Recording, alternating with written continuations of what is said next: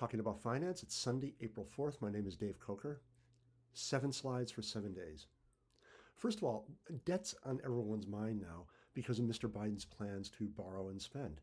And the Federal Reserve Bank of St. Louis has a very interesting graph that I came across where they're looking at total debt to GDP. So they're including federal debt, household debt, and a lot of people just look at federal debt, but they're including household debt and non financial corporate debt. Now, non financial corporate debt is defined as debt that's issued by not by banks. So in other words, we're taking a look, and this is from the Dallas Fed actually, we're taking a look at borrowing by private businesses that are not banks, because banks typically are, are very heavily leveraged. And it's really getting up there, guys. It's at record levels. My God, we're approaching 300%. So America clearly is living beyond their means. They, uh, if you had a friend who had borrowed so much money, you'd have a, a, a nice conversation with them, try and straighten them out. We're addicted to borrowing. We're addicted to spending. We're living above our means. And I don't think it's going to end well. And I, I wouldn't forecast a catastrophe, but something's got to give at some point. It's curious when you look about where the money's coming from. We've had this since uh, 1990. This chart shows us the 30 year US Treasury, the interest rate. And you can see if you go back to 1990, 30 year bonds were paying about 9%. It was amazing. You could put your money into fixed income, a nice portfolio of uh, long term bonds and maybe shorter term uh, notes and maybe some T bills and still collect a, a fairly decent income coupon stream. Now it's impossible. The long bond is yielding about 2.35. It closed in New York last week. So there's some issues here. And as we continue to borrow, keep in mind when we have to refinance, we have to refinance at higher interest rates as interest rates go up. So debt service right now is about 8% of GDP.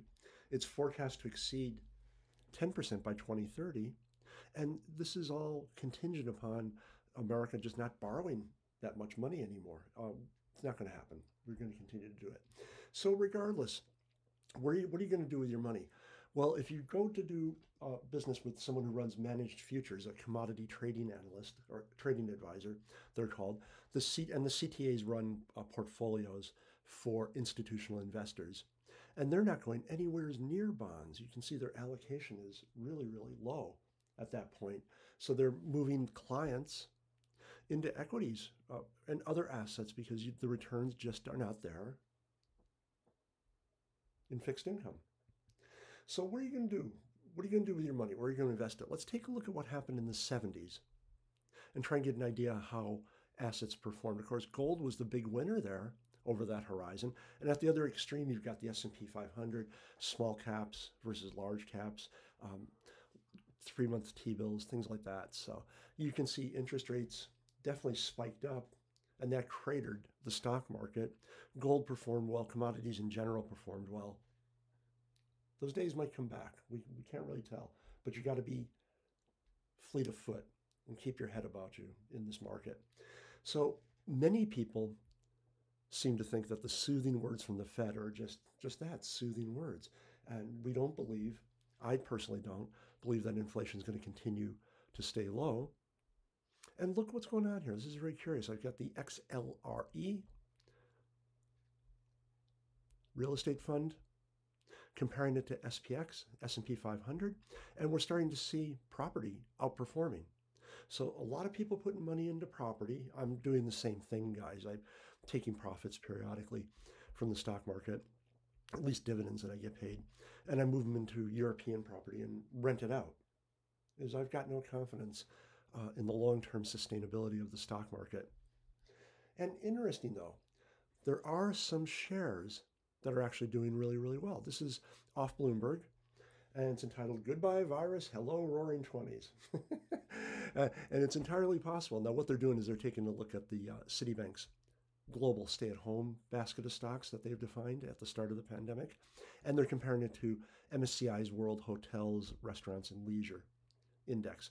Uh, people want to do stuff now. They're starting to spend. They're starting to travel, starting to do things in restaurants, and uh, yeah, so that is really tending to perform pretty well compared to the S&P 500. Will it continue? I kind of think it will for an intermediate term. We're not going to be seeing it for, for decades, this outperformance, but definitely over the next 12 to 18 months, maybe two years, without a doubt, we'll see it. And regardless, guys, if you can't make your mind up about stocks and you're fearful of fixed income, that's okay. Because we'll always have Bitcoin. You can always put some cash into Bitcoin.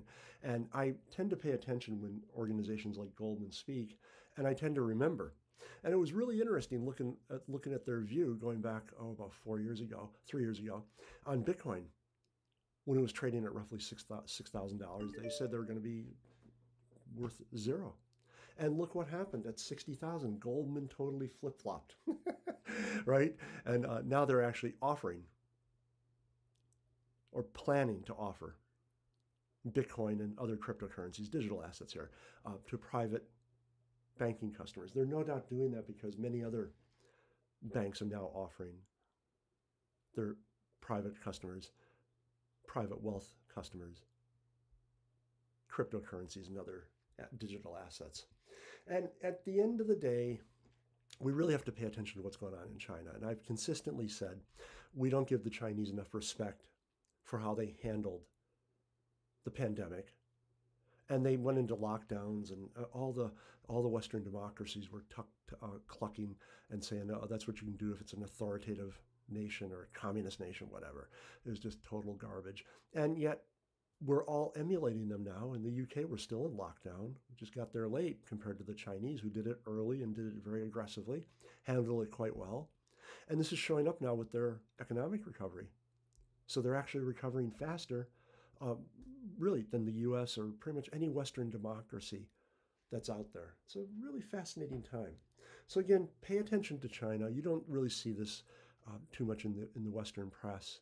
It's in the financial press sporadically, these presentations, but in general, they don't talk about it too much because um, there's a conflict now between the U.S. and China, and it's all driven by America's relative decline compared to China. All right, guys, that's it for today. Thank you very much for your time. Go forth and make money. Take care.